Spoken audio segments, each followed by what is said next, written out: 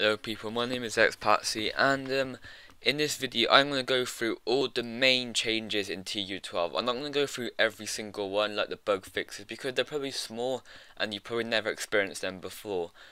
If you didn't watch my other video, sorry, if you didn't watch my other video today, um, it was just saying that um, TU12 is now in Microsoft certification test so it's technically finished and it will be coming out in the next week or so what I'm going to do in this video is go through all the changes, like the big ones.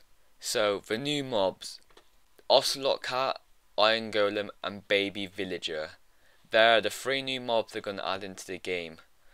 The new items they've added are Redstone Lamp, Junglewood Stairs, Junglewood Half Slab, Junglewood Block, Junglewood Planks, Jungle Tree Sapling, Ocelot Spawn Egg, Chiseled stone brick, creative mode only. Mob head, skeleton, wither skeleton, zombie, human and creeper heads. Creative mode only as well. The changes and additions they added into the game are um, new tutorial world, new map height limit, so it used to be 128, now it is 256. Jungle biome, jungle trees, cocoa beans grow on jungle trees. Slabs and stairs can be placed upside down by placing them below a block added corner stairs and oh, upside down corner stairs, added 3D dropped items, added dispensing boats and minecarts to dispenser, new cave sounds, so like, you know, they have on the PC, new AI for mobs, added rare drops for mobs, villagers will have children if they are in the same room in, the, in their village, zombies break down doors on hard mode, crafting recipes for ladder now. Yields 3 ladders instead of 2,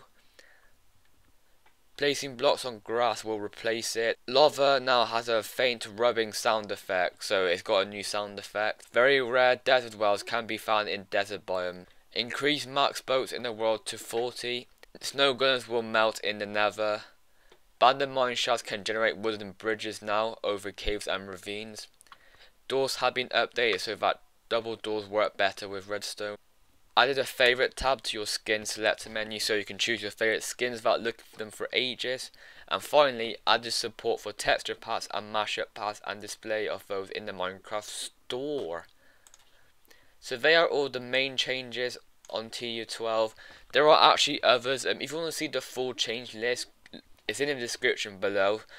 Like the other changes I have not mentioned are, are just the bug fixes. So like, there's no really point in going through them because you know they're like little changes like you know um, slightly lowered the sound on some stuff you know you, you don't really need that stuff. So hope you enjoyed the video and make sure you subscribe for more and peace out